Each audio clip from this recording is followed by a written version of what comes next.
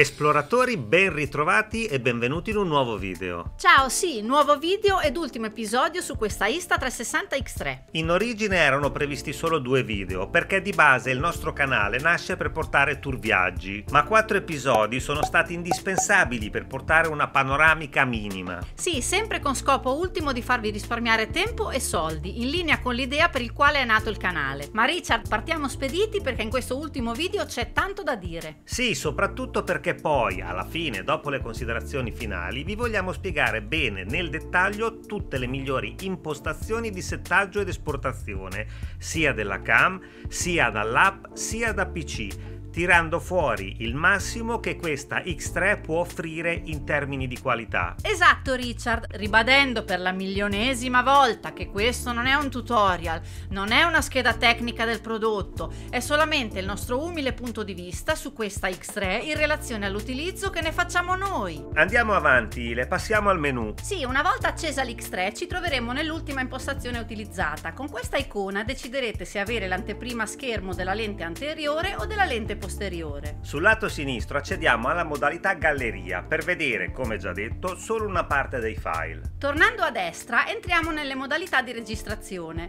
Per tutte le modalità il menu è strutturato allo stesso modo. Sotto al centro troveremo le impostazioni di risoluzione, a destra troveremo quelle di esposizione. Clicchiamo la modalità selezionata per tornare al menu generale. In alto troviamo uno switch per passare dalle funzioni 360 a quelle a obiettivo singolo. Qua troveremo video 4 4K e le impostazioni FOV che riguardano sintetizzando il grandangolo. Modalità selfie che saltiamo a piedi pari ribadendo l'inutilità dello schermo per inquadrarsi in una posizione assurda. Continuando passiamo al loop recording, funzionalità forse utile ma non per un action cam. Sì Richard, un esempio al volo. La mettete in macchina, magari attaccata allo specchietto, registrando un loop di massimo 30 minuti per catturare il momento di un possibile incidente. Necessita di un power bank collegato. Scorrendo ancora troviamo la modalità foto a lente singola, funzionalità di nuovo non action molto caotica, con funzioni pull shot, RAW con risoluzione mm, così e così, X3 impostata al massimo, umiliata dalla qualità del nostro caro smartphone scrauso. Veramente assurdo, tutti abbiamo sempre con noi lo smartphone, che senso ha con l'X3 fare foto a lente singola per poi doverci collegare comunque in certi casi lo smartphone o addirittura il PC per vederle completamente elaborate? Nessun senso, gli smartphone di oggi fanno foto di ottima qualità e sono già pronti alla condivisione senza tutti questi sbattimenti. Non voglio sentire che non ha senso paragonare l'X3 che è un action cam a uno smartphone, dovrebbe essere il contrario, è lo smartphone che non dovrebbe arrivare alla qualità di un device progettato esclusivamente per fare foto e video. Sì, se mi vendi una funzione foto a lente singola 36 megapixel che non c'entra niente con action cam, mi aspetto che quella destinazione d'uso faccia il suo dovere. Finita la sezione ad obiettivo obiettivo singolo andiamo nella parte del menu che gestisce tutta la modalità 360. Nella funzione video potremo scegliere la risoluzione a 5.7K. Continuando troveremo la modalità 360 HDR. Per farla corta dovrebbe migliorare la qualità in condizioni di molta luce e contrasti. Tenete conto che aumenterà il peso del file ed il surriscaldamento della cam. Sì, in fase di esportazione tutta questa differenza di qualità noi non l'abbiamo vista. Andiamo avanti e passiamo al time lapse e qua tocca tocca fare una piccola parentesi, bisogna capire cosa sono gli FPS. Sicuramente lo sanno quasi tutti, ma noi ci rivolgiamo anche a quella piccolissima parte che magari non lo sa. Un video non è altro che una serie di foto in sequenza. FPS significa fotogrammi per secondo, quindi ad esempio 4K 60 fps significa 4K, la dimensione,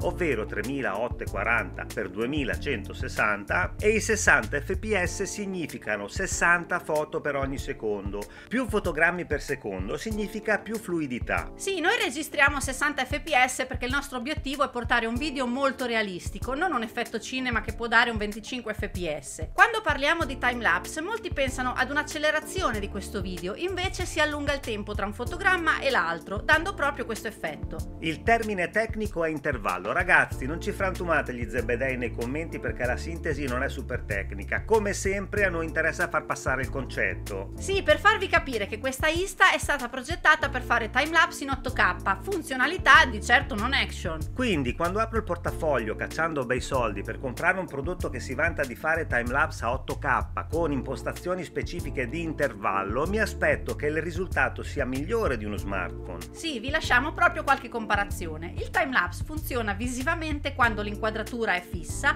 o al limite con un minimo di movimento per dare risalto a parti in movimento in relazione a parti fisse. In più va aggiunto che uno smartphone riesce a portare un timelapse di più di due ore. Con l'X3 dovrete per forza comprare anche un power bank per avere più di due ore di continuità. Continuità per modo di dire, perché abbiamo visto che fa clip massime di 30 minuti. La vendita di un prodotto con riferimenti univoci non può essere alterato da scusanti. Sì, questa X3 è un controsenso infinito, vuole vendersi ad un mercato ampio, non solo action, anzi all'80% con funzionalità di utilizzo proprio al di fuori della definizione di action cam. Ma andiamo avanti, passiamo al time shift che può sembrare simile al time lapse. Qual è la differenza, Richard? Sintetizzando, il time lapse toglie dei fotogrammi facendo degli intervalli di registrazione con cam fissa su un cavalletto. Il time shift invece può essere registrato anche in movimento, ad esempio su un'auto. Non ha intervalli regolabili, ma si può decidere poi la velocità in post. Altra funzione per nulla action che non ha nessun senso, perché con qualsiasi programma di editing, sia su smartphone che da PC, si può aumentare la velocità mantenendo di base una migliore qualità del video. Passiamo al bullet time. Questa può essere una funzione interessante. Dovrete acquistare un accessorio a parte. In questo caso vi mostriamo Ape Atomica, il nostro wrestler di famiglia che ci ha fatto anche da inviato speciale per il tour di Los Angeles. Sì, Richard, ma anche qua comunque emergono le criticità della cam. Il bullet time è accettabile con luci perfette accettando i compromessi di qualità e di stitching delle lenti. Loop Recording 360, stessa modalità che abbiamo visto a lente singola, ma in questo caso con doppia lente. Continuiamo con la funzione Star Lapse. Sì, perché anche la funzione Star Lapse è fatta proprio per le action cam. Infatti, mentre ti fai il giro in moto o sullo skate, fai una bella ripresa di 12 ore alle stelle, è ovvio. Ragazzi, saltiamo proprio del tutto questa inutile funzione. Per un dispositivo con questo sensore caratteristiche non ha veramente proprio nessun senso, senza contare che ci vorrà un grosso power bank per far sì che registri tutta la notte. Foto in serie, no comment, andiamo avanti, va?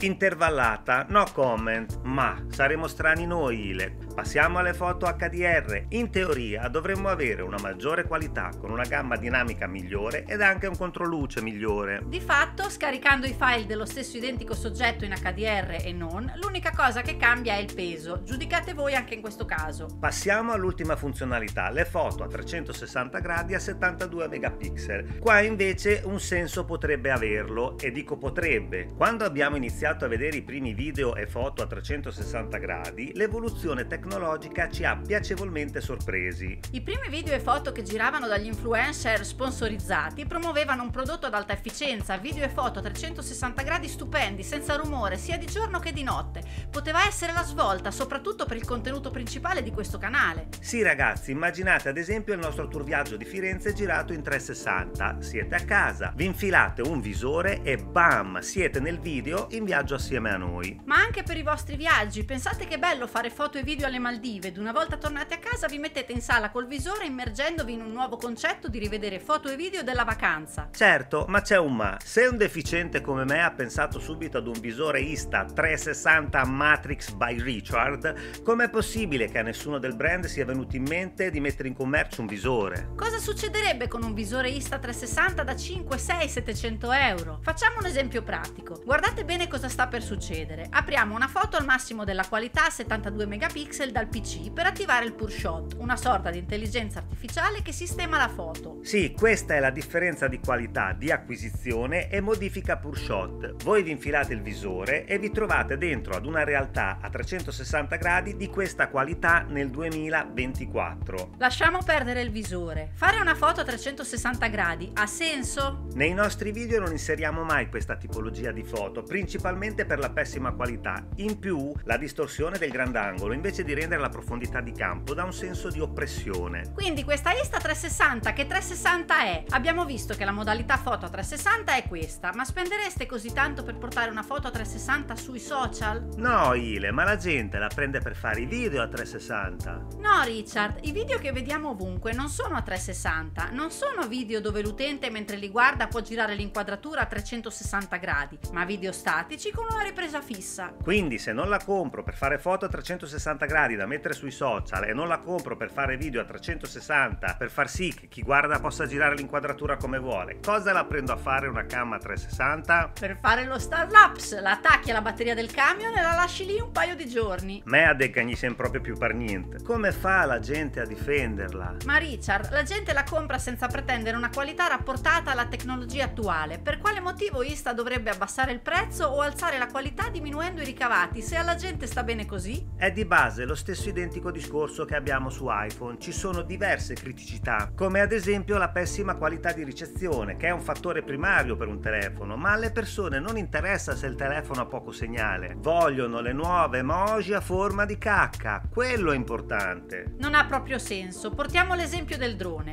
Le immagini del drone fanno schifo perché il drone è un drone e non va comparato con uno smartphone. Ma di cosa stiamo parlando? Droni da 300 euro fanno riprese accettabili. Il film X8 Mini ne è un esempio. Ottima anche l'esposizione. Il drone nasce per essere pilotato, le immagini sono una parte secondaria. La X3 nasce esclusivamente per fare riprese. Questa X3 è una contraddizione continua, dovrebbe essere versatile, rapida all'utilizzo, invece ogni funzione che abbiamo visto ha una valanga di parametri da impostare. Action manco per il c***o.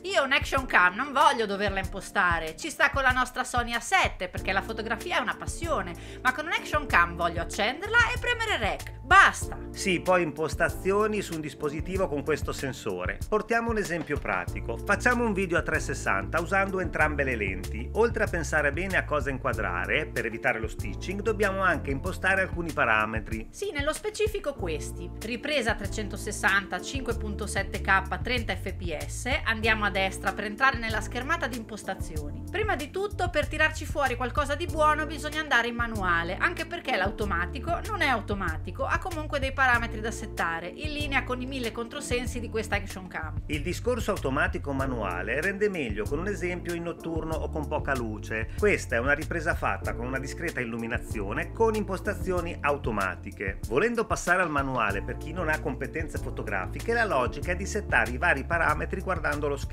fino a quando l'immagine vi sembra buona. La logica è quella, ma se impostiamo la ripresa affidandoci allo schermo, quello che viene fuori è questo. Come già detto, schermo inutile, non riproduce tutti i file e non rispecchia quello che registri. Invece, settando i parametri manuale, come poi vi spiegheremo, si riesce a tirar fuori un'immagine di questo tipo.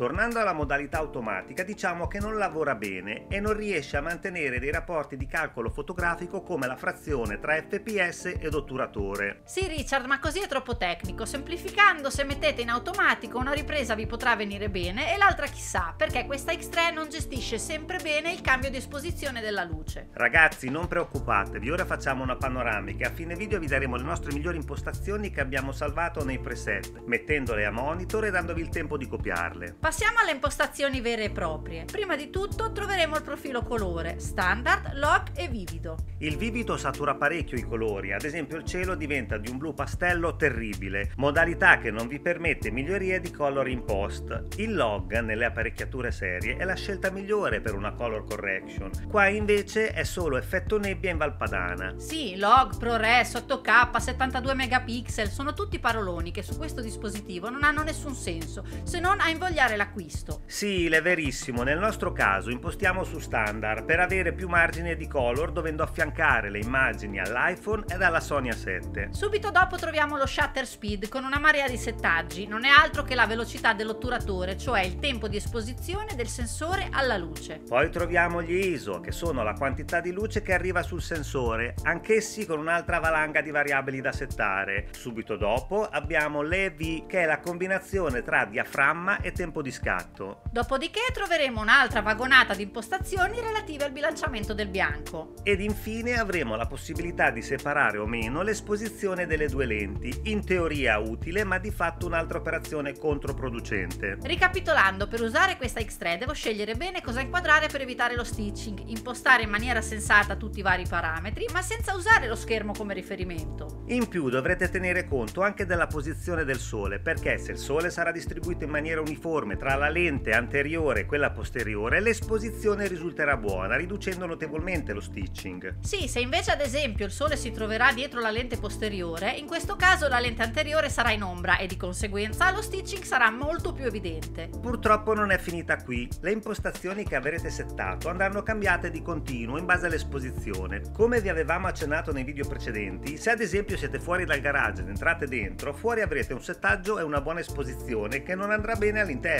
Stesso discorso al contrario, se avrete settato la cam per l'esposizione interna, nel momento in cui uscirete dovrete cambiare le impostazioni o vi ritroverete con l'immagine completamente bruciata. Sì, ad esempio, una ripresa continua all'interno del ristorante, nel momento in cui esco di fuori, se non voglio avere tutto bruciato, devo fermare la registrazione, risettare i parametri e ricominciare la ripresa da fuori dalla porta del ristorante. Purtroppo potremo avere anche esposizioni diverse nella stessa clip e qua non ci si può fare niente. Un esempio è il video che abbiamo fatto relativo all'interruzione prima del trentesimo minuto. Sì, in basso a sinistra l'esposizione è passabile, tendente all'oscuro, creando parecchio rumore. Invece in alto a destra risulta tutto completamente bruciato. Questa è l'X3 e non c'entra che è a 360, perché questa è una ripresa a lente singola. Sì, ripresa che un drone a lente singola da 300 euro ha fatto 20 volte meglio. Poi dipende comunque sempre dall'utilizzo che ognuno di noi ne vuole fare. Se voi prendete l'X3 per metterla su un palo davanti al pollaio per vedere se le galline fanno le uova,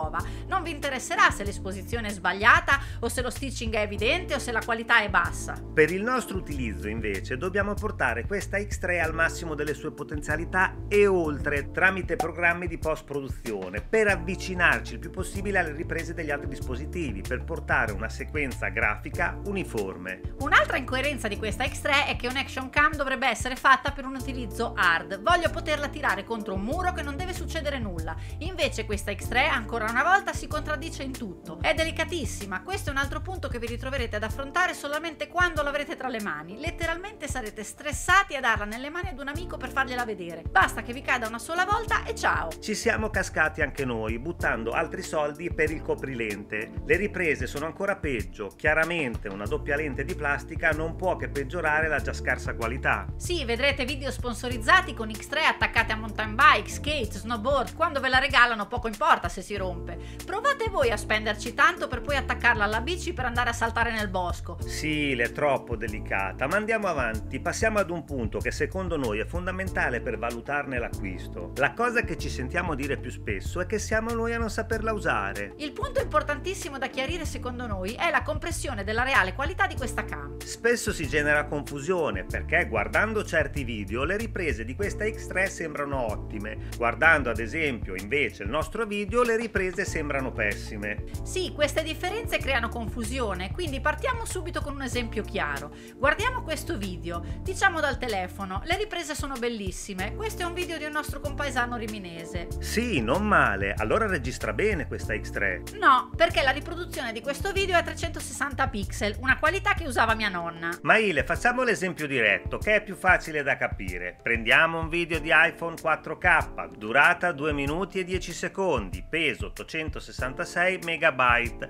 Avvio la registrazione dello schermo del PC con OBS, faccio partire il filmato a pieno schermo e lo salvo. Ha senso? No, nessuno, perché la qualità della registrazione dello schermo, non in densità di pixel ma spalmata, distrugge la qualità del file originale in 4K. Ok, adesso facciamo il contrario. Prendiamo una clip di Insta, la portiamo in studio e la esportiamo alla massima qualità, quindi 5.7K, ProRes e punto, perché non c'è possibilità di settare altri parametri, quindi non siamo noi a non saperla usare. A questo punto abbiamo un file di 1 minuto e 26 secondi che pesa 13,28 GB. Facciamo la stessa cosa che abbiamo fatto prima, ovvero avviamo OBS registrando lo schermo e avviamo il video. Ha senso? Vediamo Ile, abbiamo trasformato un video da 5.7K con un peso di 13,28 GB in un video a 1080 con peso di 60 30,8 megabyte. Quindi andiamo in DaVinci, la traccia gialla è quella di Insta a 5.7K con peso di 13 GB. Quella blu è la registrazione dello schermo di OBS a 1080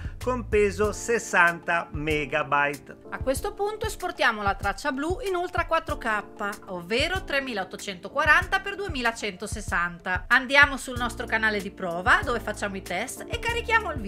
Ragazzi, caricheremo comunque anche su questo canale l'esportazione finita in fake 4K. Sì, buttateci un occhio. Una persona che guarda questo video con la possibilità di arrivare al 4K, secondo voi che idea si fa delle riprese di questa X3? E tenete conto che abbiamo solamente fatto la registrazione dello schermo senza nessuna correzione di colore, rumore o miglioramento. Il punto è che la qualità percepita dalla compressione del caricamento non ha niente a che fare con la qualità oggettiva. Le magagne vengono fuori quando il 4K è vero. Caricando i nostri contenuti girati in 4K veri ed affiancandoci le clip di Insta fatte al massimo della qualità con pesi assurdi, avremo un reale confronto della qualità video. Ragazzi, adesso voi state vedendo dei file compressi e caricati in rete. La differenza vera che vediamo noi prima del caricamento su YouTube qua in studio è mostruosa. E quindi cosa dovremmo fare? Abbassare la qualità di tutto il girato di attrezzature da quasi 10.000 euro per far sì che Insta risulti migliore di quello che è? Quindi fate attenzione ai video che vedete in rete. È per questo che alcuni video vi sembrano buoni ed altri meno. Ma andiamo avanti. Passiamo ai parametri di impostazione della X3. Vi abbiamo mostrato tutto il menu per darvi un'idea completa, ma in realtà l'unica sezione che ha senso usare è la modalità 360 5.7K 30 fps. Sì, la modalità lente singola e tutte le altre pataccate sono inutili, anche perché l'HDR si trova solo nella modalità 360. Dopo aver fatto tutti i test possibili e immaginabili, ci siamo resi conto che la qualità migliore, si fa per dire,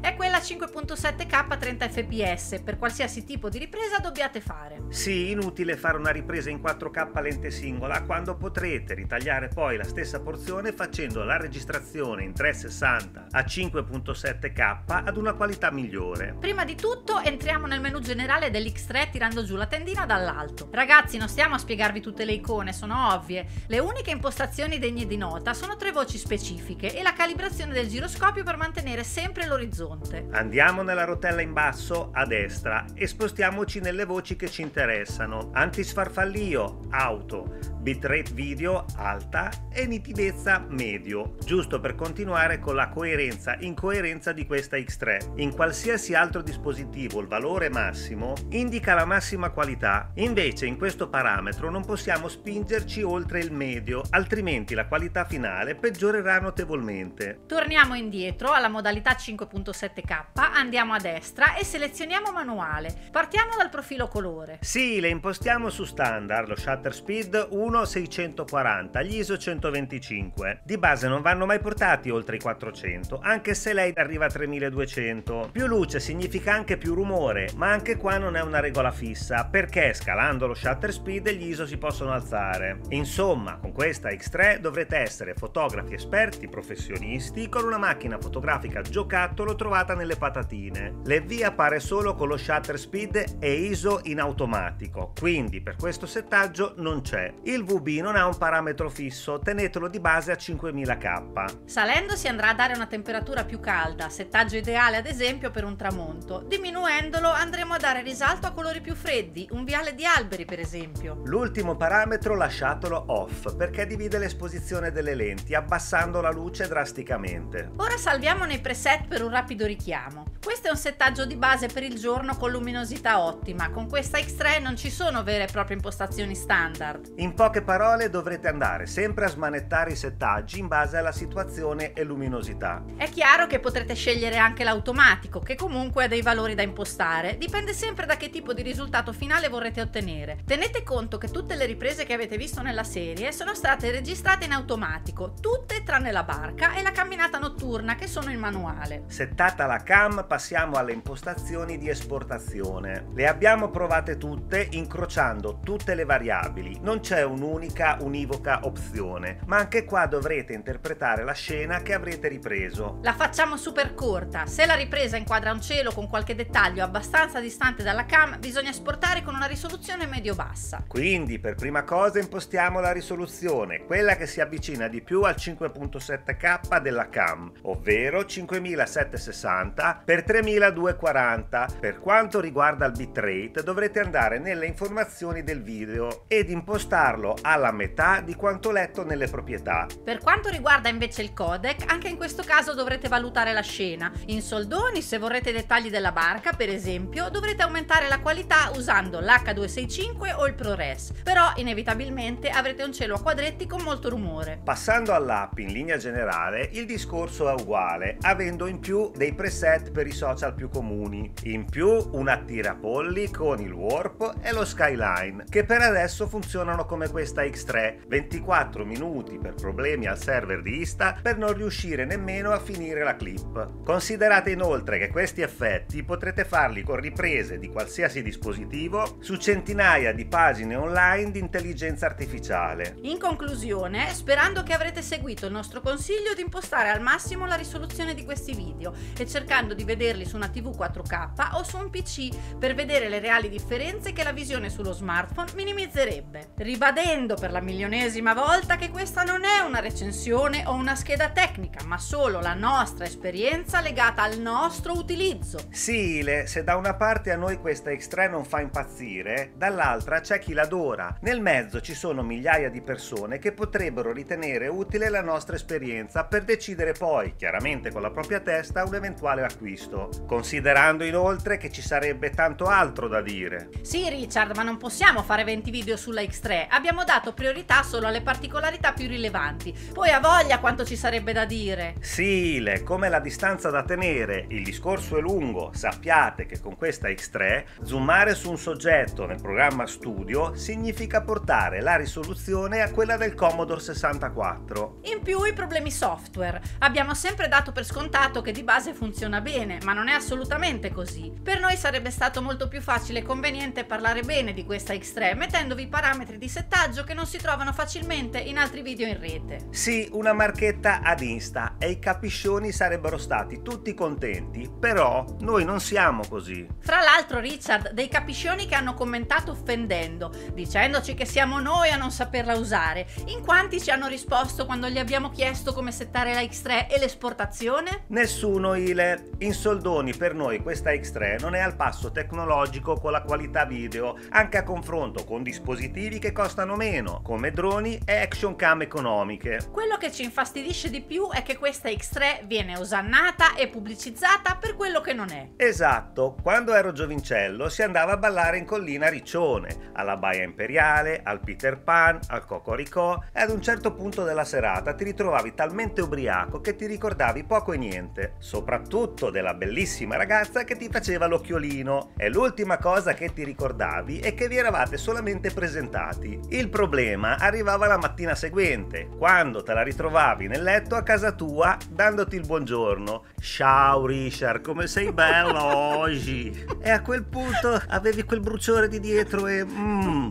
Ecco, per noi questa X3 è stata così, uno strano bruciore dietro. Dopo averci speso tanto, è dimostratasi per quello che non è. Aneddoti di Richard a parte, quando per fortuna io ancora non c'ero, secondo noi questa X3 può andare bene per chi va in moto. In caso di caduta i 500 euro del costo dell'ista sono l'ultimo dei problemi. Al contrario per esempio di uno skate, dove lo scivolone fa parte del gioco e 500 euro a caduta possono diventare un problema. Sì, per un motociclista può passare, usando solo l'app, senza grosse pretese di qualità, caricando video standard da 15-20 secondi sui social. Se da un lato per questo utilizzo la X3 può passare, dall'altro la domanda che bisognerebbe farsi è se ne vale la pena. Sì, vale la pena spendere 500 euro per la cam più altri soldi in accessori che non ha senso non prendere per sfruttare la X3 al massimo solo per qualche minuto di filmato per i social? Diteci nei commenti cosa ne pensate. Sì, e qua ci riallacciamo al primo video con la dovuta inflazione. Voi spendereste 180 euro per il filetto fish del Mac?